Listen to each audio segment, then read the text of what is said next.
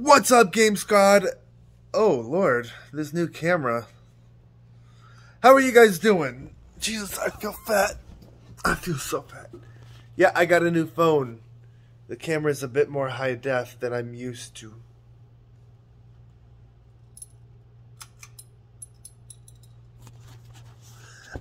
Oh, God. So, there has been some official gameplay released of uh, Resident Evil Re:Verse and I am really excited about that. I'd like to play it, and Ada Wong is a playable character, so y'all know who I'm about to main as. We already know. That's already been decided. As soon as they said Ada Wong is a playable survivor, it was immediately decided who my main character was going to be every single time. Don't you?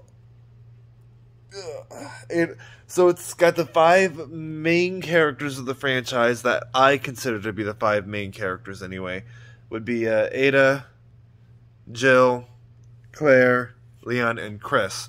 It also has Hunk, which is he's not necessarily a main character in the same sense as he hasn't really been seen in a while in the games, but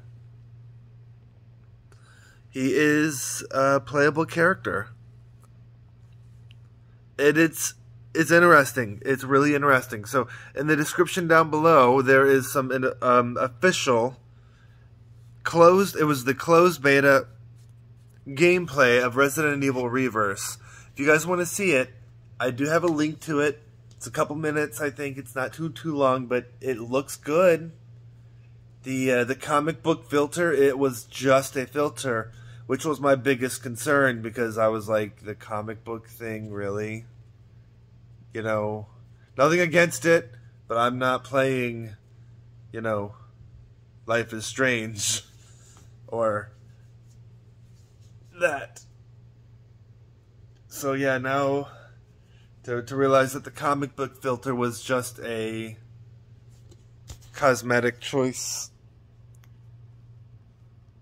for the gameplay.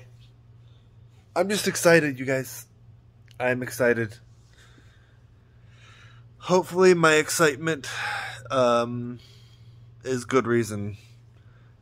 Because I'm very cautious about this game. It doesn't sound as intriguing to me as Resident Evil's Resistance was. But who knows? Maybe it's a sleeper hit. A sleep hit. Sleeper hit, I think that's what they're called. You know, maybe it's a really good game I still want to try it. It sounds like fun. I'll probably do Re- Resident Evil Re:Verse before I do Resident Evil 8. I know that they release on the same night, but I'd like to try the multiplayer first. Unless you guys want. Or we could do the DLC because I got the DLC for that game as well. Figured I might as well, you know. I'll see y'all later, okay?